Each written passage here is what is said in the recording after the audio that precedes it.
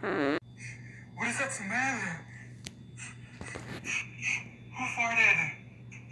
Why are you looking at me? I didn't fart. It's probably you. Okay, class, now who did that? Someone is always farting in here every day. What's new? Oh my god, I can smell it now. It smells wet.